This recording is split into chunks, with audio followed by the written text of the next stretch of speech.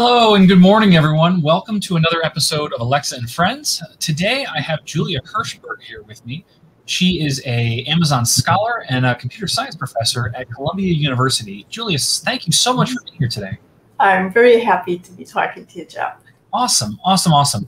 So one of the things that uh, I know you and I chatted about very briefly, uh, but that I like to do at the beginning of these interviews Yes. is to ask a couple of silly questions. All right. So with that, I'm going to get right into that. The first question that I often ask is, um, with uh, the last 10 or 15 years or so, we've had a lot of superhero movies come out. Um, and one of the things I'm always interested to know about people is if you could pick any superpower for yourself, what would you pick? And then I'd love your story on what your reasoning is. Why did you pick that one specifically? Okay, so I know that you asked this question because I watched a couple of these. And at first I thought, well, the superpower I want, I thought, was to be able to see what's in people's minds, other people.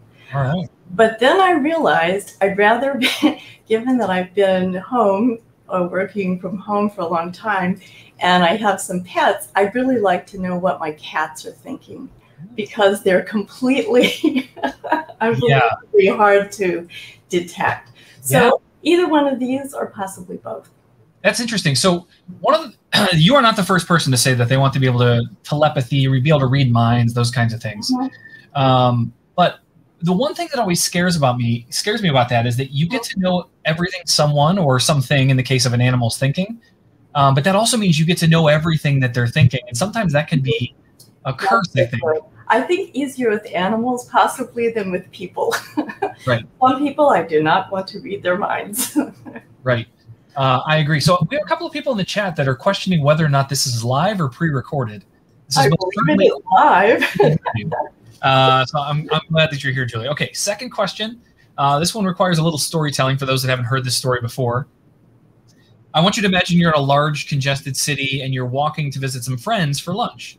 Okay. Uh, you're on 17th Street. You need to get to 18th Street, and um, as you uh, as you start to head over there, you realize you have to walk all the way around this big city block, where there's this really nice, open, brightly lit alley that you could walk down that would get you directly to the restaurant that you're meeting. Oh, mhm.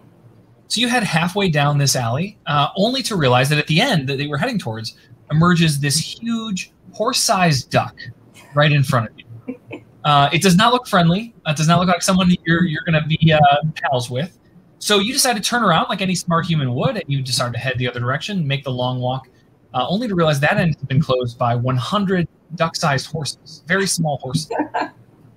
so in either case, you're probably going to have a little bit of a scuffle, uh, maybe just to try to escape or whatever.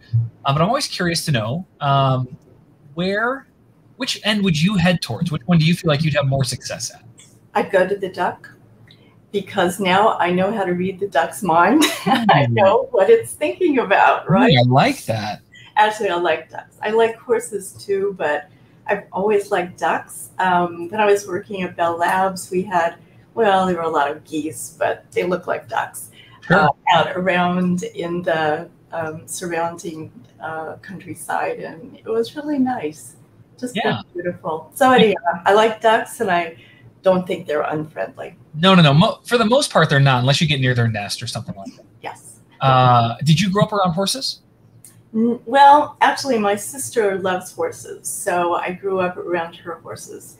But uh, yeah, she had horses and she still has horses. Now she has older horses that she's trying to keep alive, and some of them live to be 30. So she has a farm, and it's really great. Yeah, that's that's a commitment. I I've seen some stories recently about how um, people that have a pet tortoise, right? Tortoises live forever, Mhm. um, and how they've been passed down from generation to generation. They have they have a tortoise that was around during the Civil War. oh my God. That's amazing. That is amazing. Yeah, I didn't know about those. Uh, all right. Well, I, I want to hear about your career history. Um, you've you've had a, a quite a path that, that you've led.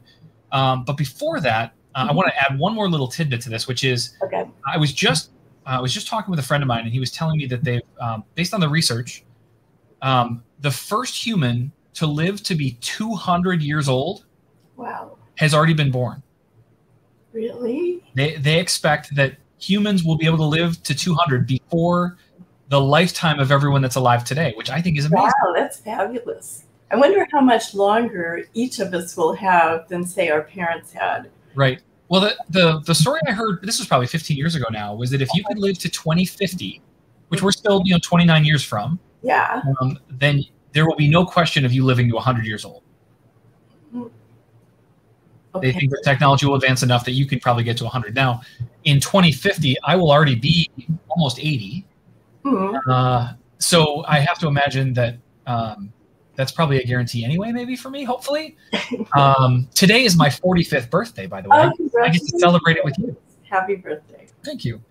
Uh, anyway, let's let's move on because I want to learn all about you. So, Mhm. um, the general way that I like to do this is if you were telling a story at a dinner party to some friends about like what your work history was, or maybe a brief interview. Uh, I'd love to hear where you got started, where you went to school, and kind of what path you took to get to where you are today. Mhm. Yeah, I have a very unusual career path. Um, I have to start by saying that I was interested in history since third grade. Okay. Um, when I wrote a very detailed history of the Habsburg emperors, all of them, and there are a lot. Yeah. Uh, it was a I was uh, visiting my grandmother one, one summer, and she had a lot of data on this. At any rate, um, so I ended up getting my first PhD in history. I went to the University of Michigan, and my thesis was on 16th century Mexican social history. And I was working in a town called Puebla de Los Angeles, which had a lot of very early 16th century data about the early settlers. It was one of the first places in Mexico that was settled. Um, at any rate, so I had all this data. And uh, while I was still getting my PhD, I needed to get a job. Uh, so I started teaching at Smith College.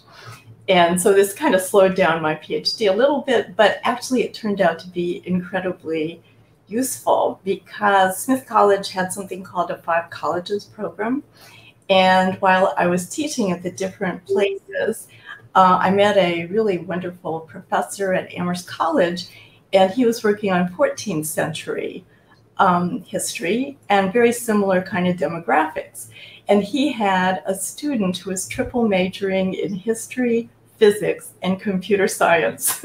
Wow. And this kid had created uh, a lot of software for him in Lisp, which was a kind of fun to learn thing uh, at the time. And so he offered to share it with me.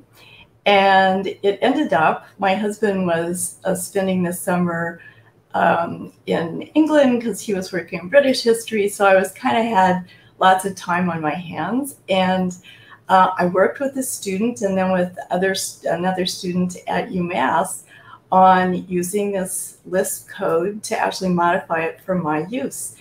And in the course of this, I fell in love with computer science. And I learned three other programming languages, which were popular at the time. And I just spent my whole summer programming. And as it resulted, um, it really helped me with my dissertation. But I also decided, because uh, some friends said, but you're a history professor. If you're in computer science, you can make twice as much money.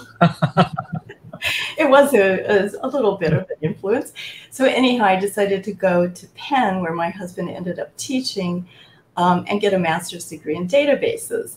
But they had a wonderful new program that they, had started, which combined natural language processing, linguistics, psychology, and philosophy. So, all those departments were involved wow. in.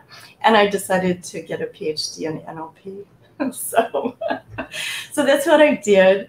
And a friend of mine and I wrote a paper that was published in Language, which at the time was the biggest uh, linguistics magazine ever.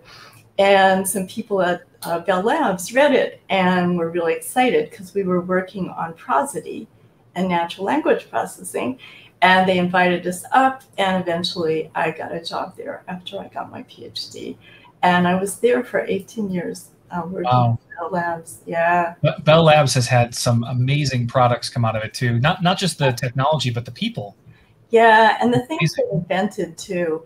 It wasn't really very product oriented at the time, but I got that way as I stayed there. So we were working on text to speech synthesis for a long time there. Amazing. So so you get to Bell Labs uh, mm-hmm. after writing this paper, and uh, we we still need to come full circle on this. So today you're back to being a professor. Yes. Um, so they asked me to start a new department there, an HCI department, which I didn't know anything about, but I was the closest person to it. They thought, Mhm. and it was great, and we had a good time uh, for a number of years. But it got to be too bureaucratic. And a friend of mine, I just uh, attended a meeting where um, the guy who was heading our the research lab said, uh, "We have decided that we can actually do research without getting any funding from AT and T," and the rest of us were like, "Huh." Right. So um, a friend of mine that very afternoon called and said she was interested in finding somebody to work in her department at another university. And so I started, I decided maybe I'll start looking. And I ended up working at Columbia because my husband by then had gotten a business degree and he was working at Citicorp. So it was good for both of us. Yeah. That's how, yeah. So then I've been at Columbia since 2002. Oh my goodness. Yeah, That's another 19 years. I mean, you've had you've had quite a career. I know. It's been so much fun. That's great, and it's interesting to me because you're not the first person that I've spoken with, and I, I have that background as well. Not nearly the educational background that you do, uh, but my undergrad is in um, psychology as well, Mm, okay. as, as a as a topic of, of interest for me. And so, I've often thought about that I want to get another PhD in psychology. yeah, yeah, I think you should. Uh, at some point, you'll have the record for the most PhDs, I think, but Hopefully. that's that's excellent. Uh, but my my psych degree also had me gravitate a lot towards uh, computing and research and uh, understanding how to how to do. Like I have a, a very good friend from high school uh, who's done a lot of really interesting research on mapping um, uh, human brains uh, like computers. It's just fantastic. Uh, and human computer interface, that kind of stuff is, is really, Oh, really it's fascinating. Yeah, well, that was our department, which I had for a long time, and that's how I learned about it, HCI. Yeah. And it kind of influenced what I wanted to do otherwise. You know, I want to learn about what people do and be able to take that information and actually um, do some machine learning techniques that can actually simulate that or recognize it. Yeah, yeah, yeah, and we're gonna we're gonna dig into a bunch of that here as Mhm. as we head a little further into this conversation. But uh, man, I'm, I'm so glad I got an opportunity to meet you. This is really interesting. So, uh, so Amazon Scholar is something that I introduced you as, and I know that you've been almost a year now as an Amazon Scholar. Can you can you kind of share, you know, what kind of drew you into that and what being an Amazon Scholar means? Yeah, so I got into it originally because some of my friends were Amazon scholars at Columbia and they were really happy with it. And I'm not exactly sure how I got connected with Amazon, whether they did or I don't know. But anyhow, some people from Amazon called me and said they'd really like to talk about this. And so they invited me out to Seattle and I spent a day just talking to lots of really interesting and exciting people. Wow. Uh, most of them were remote, but, uh, as we all are now. Anyhow, uh, so then we had a lot of uh, follow up conversations after that. And they were preparing some really exciting uh, multimodal um, projects that I was very interested in. And some of my friends were also going to be on those. And since I was going on sabbatical um, starting last July, um, I decided to just join. So I just joined part time as an Amazon scholar. Cool. And so, what what is what kind of involvement do you, if you can share this, what kind of involvement do you have with Amazon? Like, what is what does the Scholar program mean to Amazon? What does it mean to you? Well, um, what they tell you to, or they suggest that you do at the beginning is just to talk to lots of people and lots of different groups that are in areas you're in. And there's so many different groups in areas I'm interested in at Amazon. It's just stunning. So I spent the first couple of months just talking to people from these different groups. And uh, I'm still talking to a number of them now. But uh, I started working um, initially on natural language turn taking, which I've worked on before and I've been very interested in. Um, and now I'm also working on something else that I haven't worked on in many years, which is um, uh, doing dialogue act modeling from speech as well as text. And do you know what dialogue acts are? No. Sort of. Uh, so there are things like statement is, is what you said. A, I said a statement. Is it a yes no question? Is it oh. a W? So it's very important for people like Alexa to actually be able to understand those. Right. And what I had been working on a long time ago was showing how it was very important to have the speech information as well as the text based information to be able to understand what people were saying and what they wanted out of it, basically. Well, cool. So I, I know um, when we talk about areas of expertise, um, you know, you're you you have focused a lot of your research and time on things like prosody and uh, inflection and rhythm of human speech, stuff like that. Yeah, um, these are topics that were relatively new to me until I joined the Alexa team about five years ago. Uh-huh. Um, you know, you grow up and you hear about words and parts and syllables, but I, I, had never really given it a ton of thought beyond syllables. That there are these, you know, phonemes and all the other pieces that that fit mm-hmm. together to handle a lot of this. And uh, it, it's just it's a really interesting concept that I wish more people understood because it, it really shapes a lot of our communication and how how we, how we talk, right? So I, I know uh, you mentioned the act identification and, and turn taking. Mm-hmm. Um, can you can you talk more about that project and kind of what you guys are doing with that? Well, with the turn taking, um, I'm not working so much on that now, except with the dialogue act identification. Um, so what we're trying to figure out is um, what is this dialogue act and what's the appropriate response to that dialogue act? And one thing that I've really been interested in and talking to people about, sorry, is um, something called empathy. Yeah. And empathetic responses, which is also something that you know is being discussed um, at Amazon, uh, which is wonderful. So, an empathetic response. Empathy means that if I want to be empathetic with the person I'm talking to, I understand their feelings, and if they have some problem, I try to help them with it. So, for example, this is uh, very important for things like healthcare, where people can, you know, maybe be a little bit reluctant about talking to something. So, if I am very sympathetic and empathetic, um, they're more likely to be able to tell me things that will be useful for me trying to help them. So a lot of people are interested in healthcare, are really interested in empathy, but it's not just healthcare. I mean, empathy is it's extraordinarily important. Just if you want to have a good conversation, people will talk to you more, they'll like you more, and they'll tend to come back and talk to you again if you can demonstrate empathy. Because particularly in the time this time of pandemic, a lot of people are either totally bored they're unhappy right you know and so they really need to have some empathetic conversations and i think that could be very very useful for um, I agree, and a, a, good, a, good, percentage of our audience are software developers, people that are building things for Alexa today. Right. Mm-hmm. Um, and uh, one of them just mentioned in the comments that like this is one of the reasons that I think we, we continue to work on what we can provide developers when someone speaks to a device. Right now, they don't have anything for any kind of sentiment analysis or empathy or any of that stuff. They all mm-hmm. they get is, hey, the user wants to know what the weather is or something like that. That's right. that's really the, the, extent of what they receive. Mm-hmm. Um, and I think being able to one recognize and then two provide that information to the people that are building these systems uh, really can change the landscape of how we think about a lot of these interactions. Absolutely. No, I think it's really important.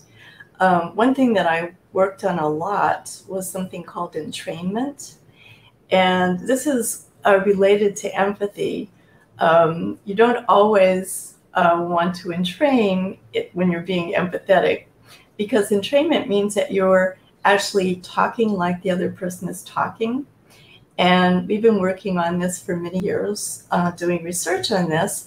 Uh, like you use similar words, you use the same sort of intonation, you use the same sort of pitch range. Um, all these same sort of speaking rate. Maybe you and I are attuning to each other. You know, people's rhythms. Uh, I, I, would assume this also applies to things like uh, copying people's accents.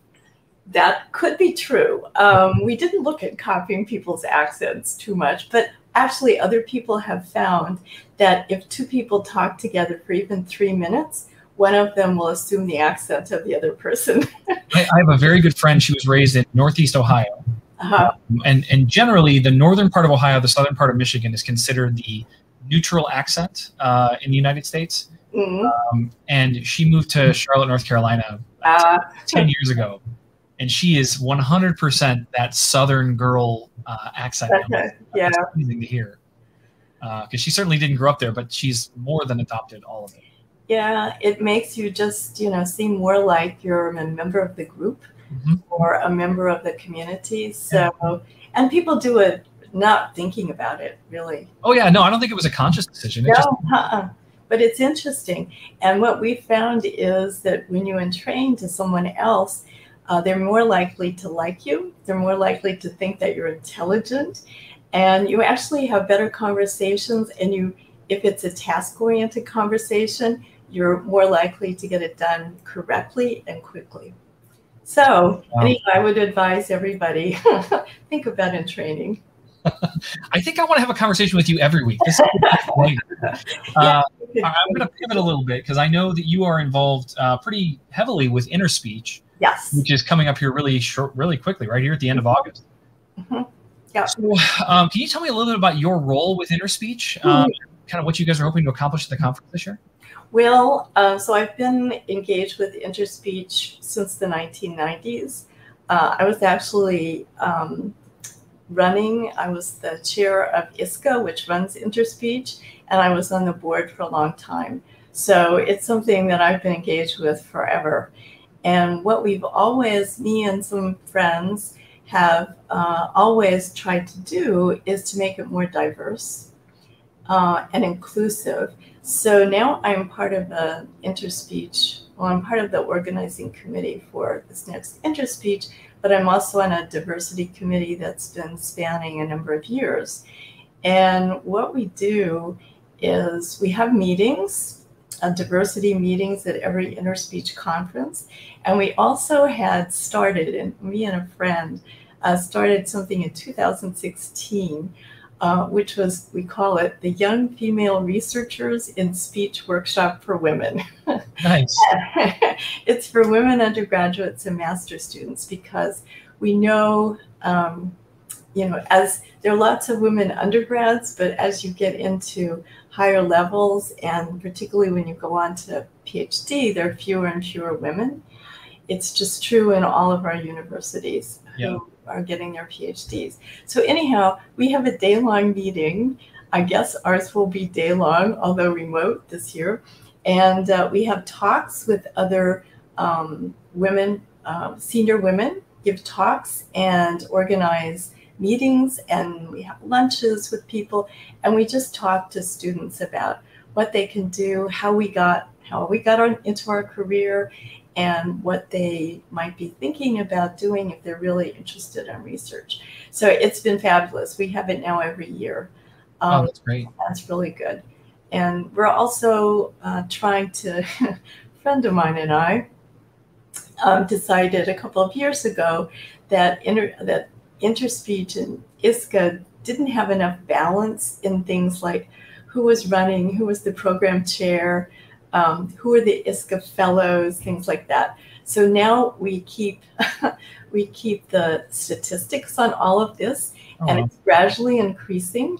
And it's important to keep the statistics on stuff like that because sometimes people don't realize, you know, you don't have enough women ISCA fellows. You don't have enough women program directors. So Yeah. anyhow, it's worked very well, and ISCA is really into diversity. I really appreciate them. Um, I'm glad to hear that. So I, I have a 17 year old daughter who's, Ah, evalu- who's evaluating universities right now. Um, oh, okay. she, she has had an affinity for computer science, uh, Ah. taken, taken all the AP classes she can in high school. Uh huh. Isn't sure that that's necessarily what she wants to do, but she's good at it. I my my thought was software development, computer science is something that's amazing to be able to fall back on, right? You can write code, uh, as you mentioned earlier, you can get paid pretty well to be able to do that. Yes.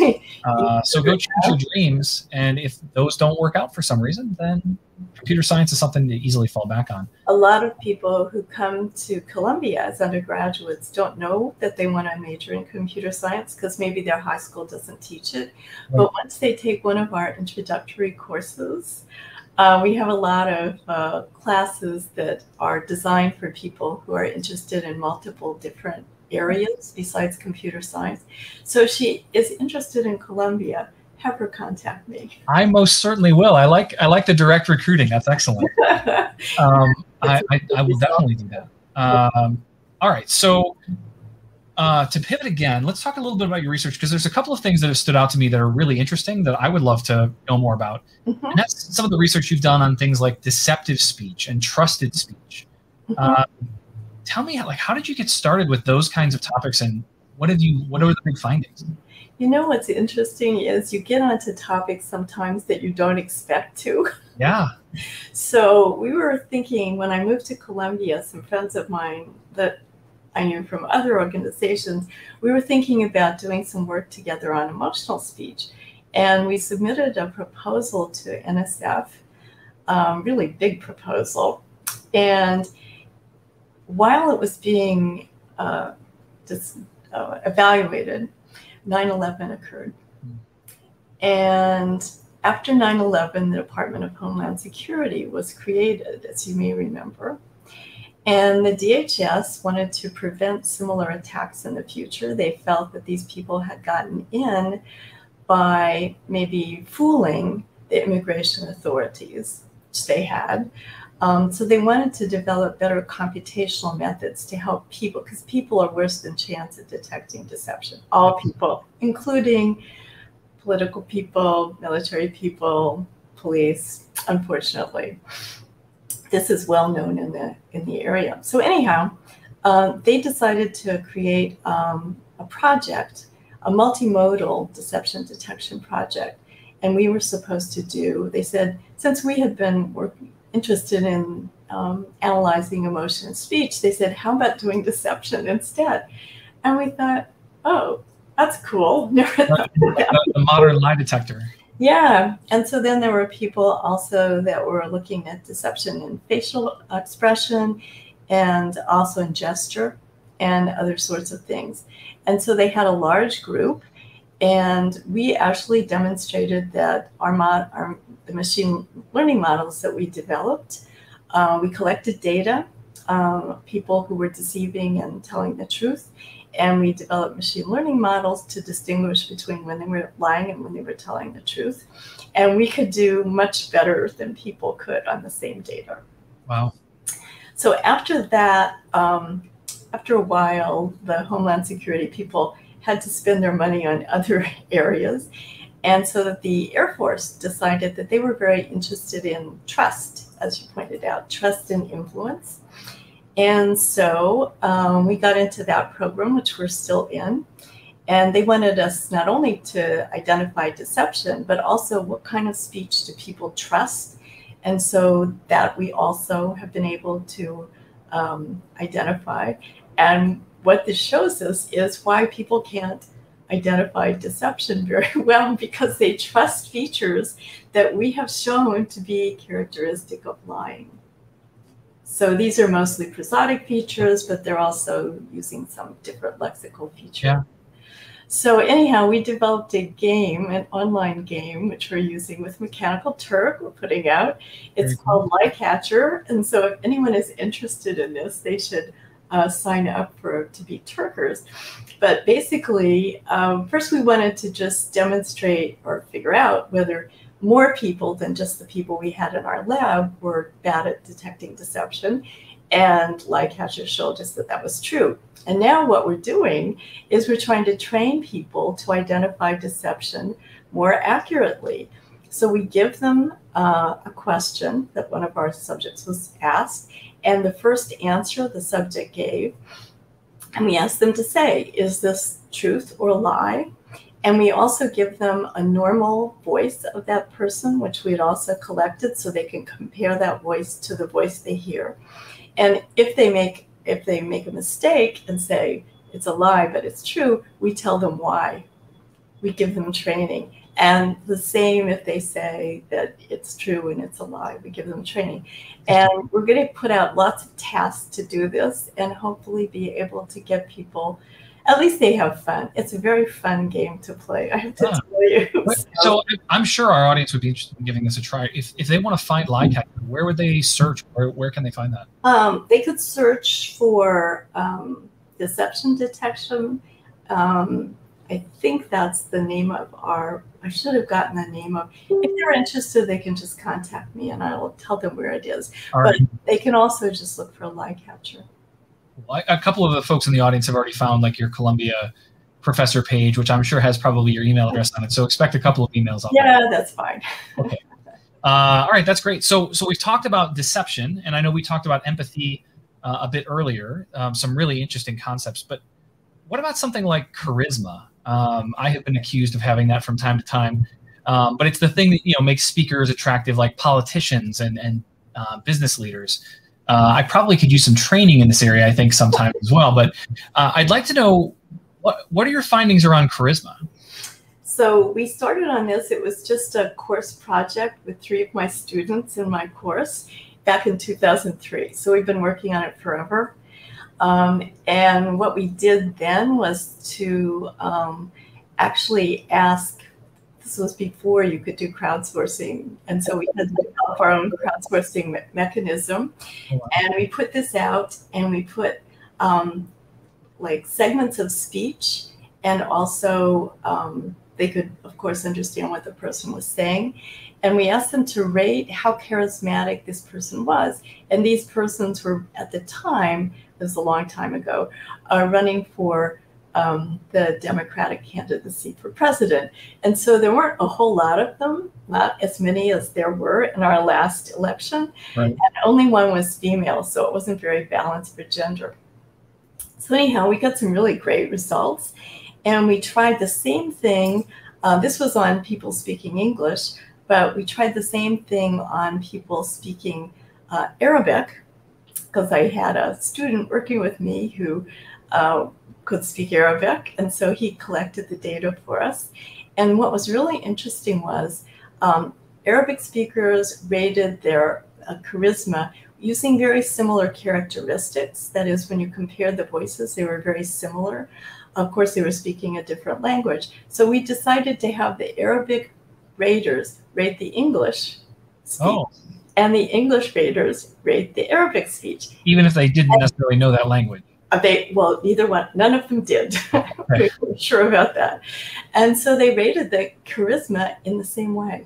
They pretty much had the same view of charisma. Wow. The features of the voices they rated as charismatic were very similar in both cases. It was really, we also had people from Sweden do the same thing on both of those, and Yeah. their ratings. So, people, the, thing to conclude about this is it's not what you say so much as how you say it. Yeah, that's interesting. I wouldn't have expected something like charisma to necessarily cross language barriers. That's uh, that's an interesting finding. Yeah, I know. So, uh, but anyhow, there are people that train people in charisma. We have not done that yet, but it's um, but it's you know for giving if you want to give a, a pitch for your startup or something like that.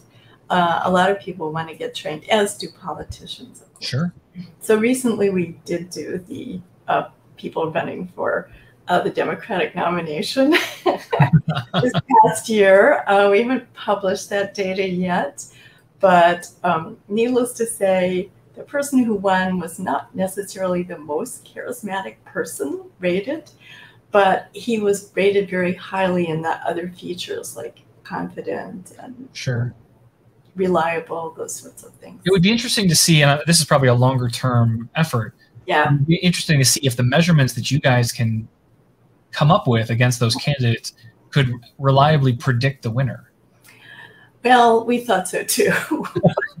In no case have we ever been able to predict the No. winner. So, uh, um, yeah, that's uh, one thing we did do though, because we were interested in gender and obviously uh, whether people would re- uh, rate women um, lower than men, because there has been had been some work on that. So we did a study of charisma just using things like podcasts and things like that, courses.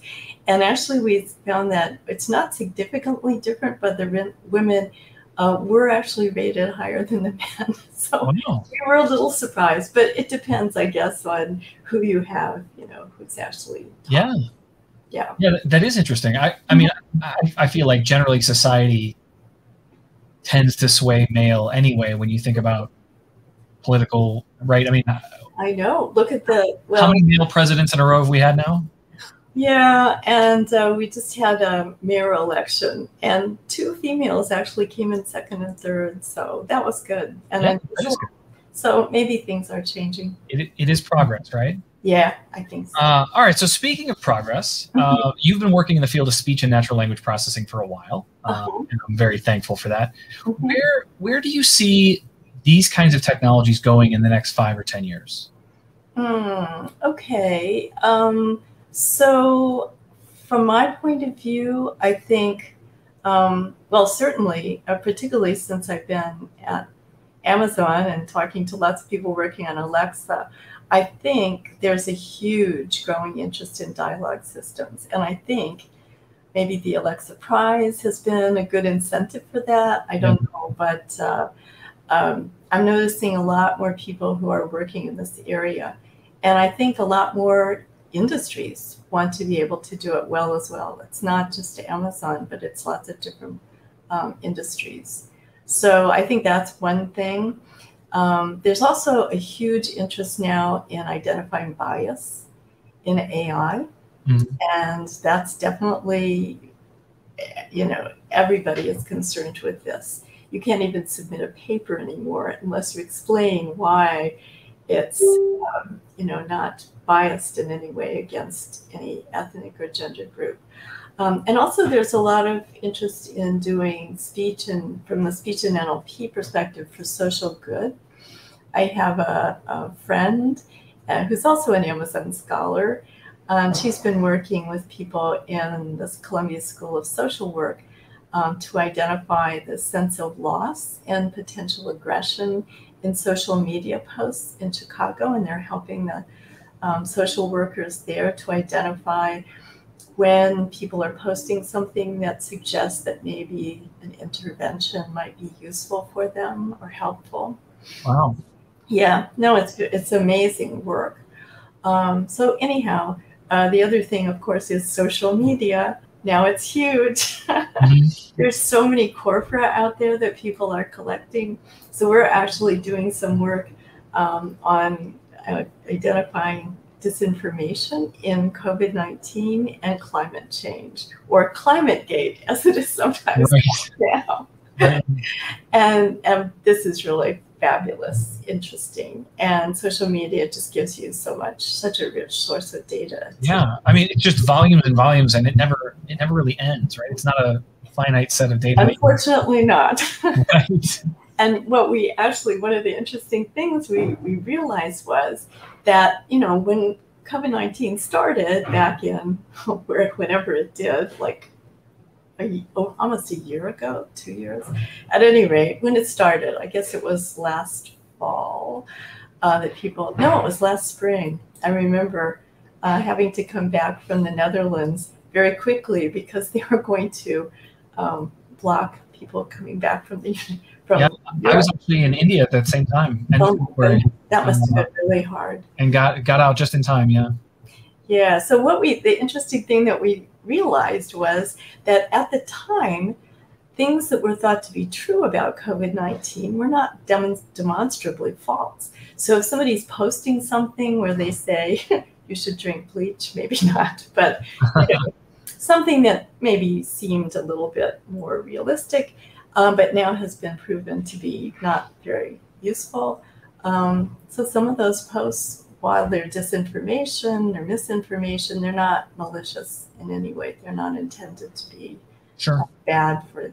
So that's one thing that's interesting to see that truth changes over time, and what people should believe changes. And I hope what people believe will be changing over time with respect to vaccination. Yeah, but I, I mean, I think, and I, you know, for those of us that have subscribed to the world of science, I mean, that's that's how it's supposed to be Is there some noise here?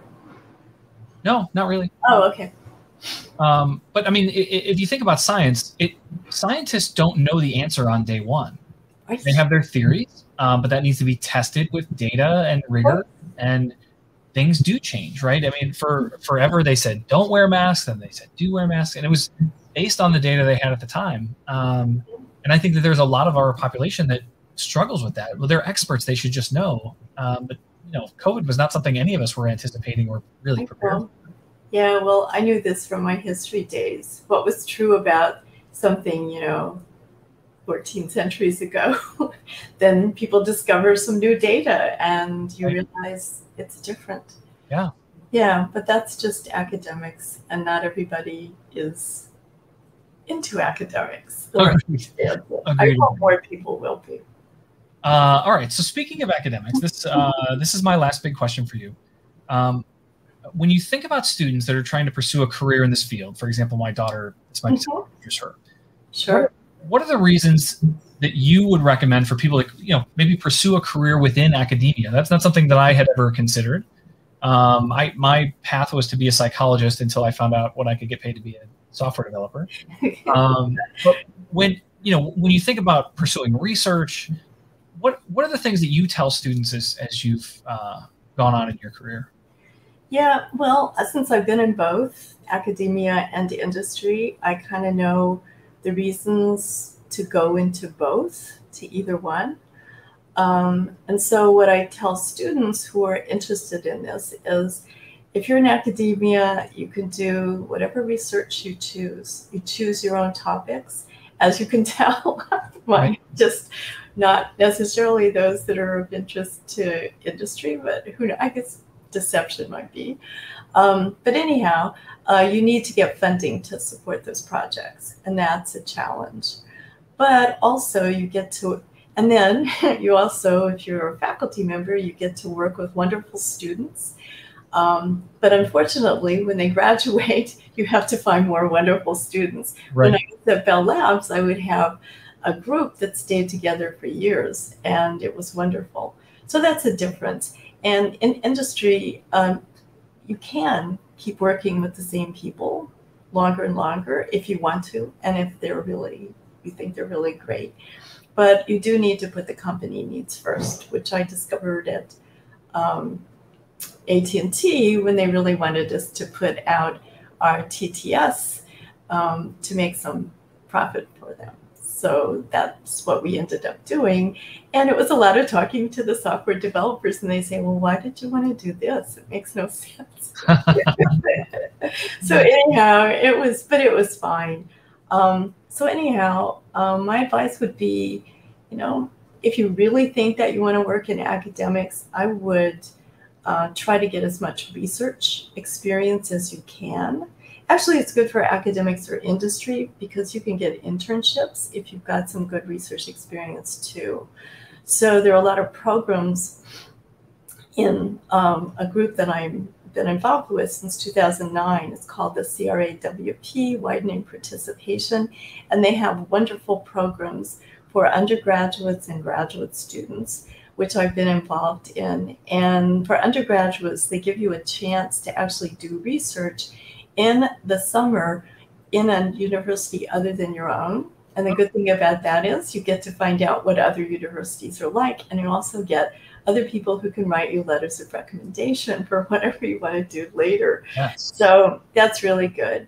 Anyhow, so um, yeah, I think um, you should see what, because a lot of my students, you know, think they want to go into industry, and a lot of them, when they've done a lot of research, think they want to at least do research in industry Yep. or um, or in academia. So I don't know. My advice would be you could try both of them. Really, people go back and forth. Two years, and you do something else. You know. But I think the key to all of that that you kind of mentioned is that it's it's about building a network. Um, That is true. You definitely need to build a network whenever you decide to, to get Right.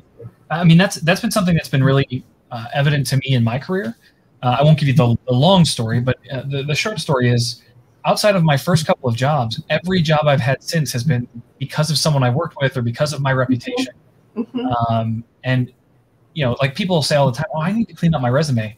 I don't even know where my resume is. I haven't done that in, in a while. And that's that's good for that's been great for me. I know not everybody has that experience, but by building that network and showing, you know, your capabilities and your knowledge and your passion, um, it really goes a long way in, in furthering your career. And, and you get uh, you get opportunities to talk with Julia Hirschberg about. well, very pleasant talking to you too, Jeff. Certainly. Well, I want to thank you for joining us today, Julia. This has been a really educational conver- conversation. Right. Uh, you can guarantee that you are going to get an email from my daughter. So oh, okay. Uh, don't don't worry about that. What's her name? Uh, her name is Riley. Right. Okay. Um, for the rest of you, though, um, I would, if you want to know more about this kind of work, this kind of research, Amazon.science is our website that covers all of these kinds of topics, covers all of our published papers and blog posts and articles uh, that we've been sharing uh, throughout the year. Uh, I know that you can also go to Interspeech 2021 that Julie is a part of, um, where you can see all of the accepted papers that were available uh, for this year's conference. Um, and hopefully this gives you a little bit of a feel for what some of the work that we're doing uh, in the Amazon science world. There's lots and lots of research and opportunity. Uh, and we're always looking for people to come join us and, and be a part of it. So, what I have to wrap us up here, Julia, is a, uh, a quick video from our Amazon Science folks okay. uh, titled Meet Our Alexa Scientists. So, Julia, okay. stick around. Um, right. I'm going to show this video and then I'll come back and chat with you. Okay.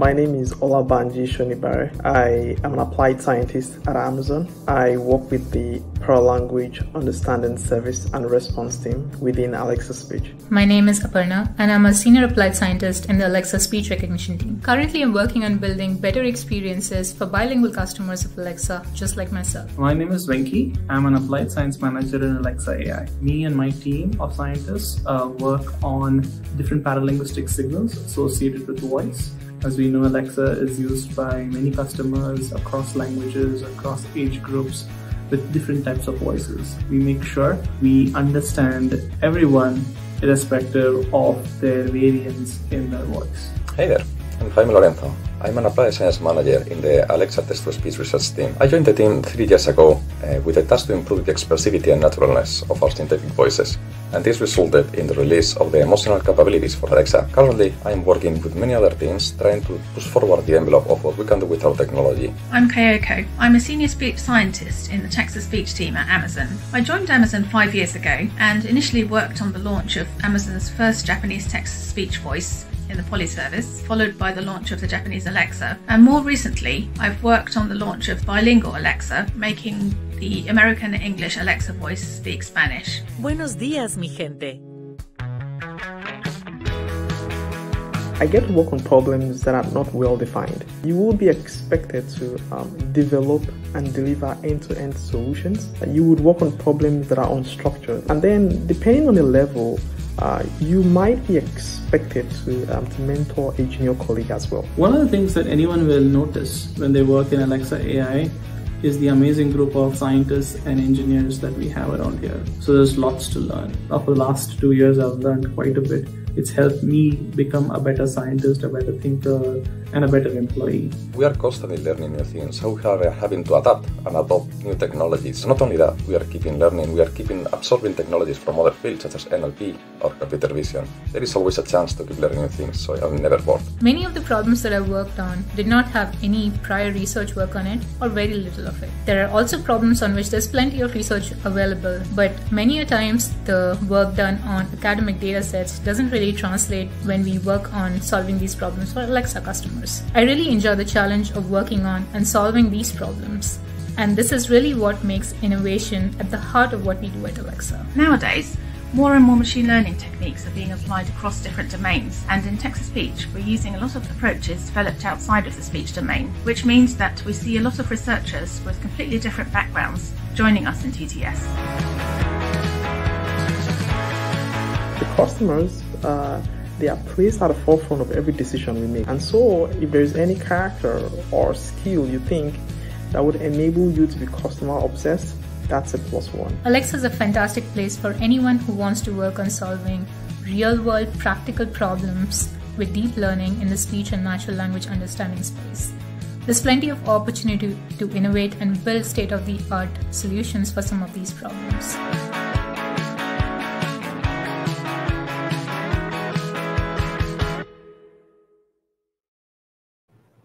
So, Julia, I just want to say thank you again for being with us here today. This has been my pleasure, uh, and I hope we get to speak again soon. Okay, very good. All right. Thank you to everyone for tuning in. Uh, we'll see you again very soon. Bye-bye. Bye.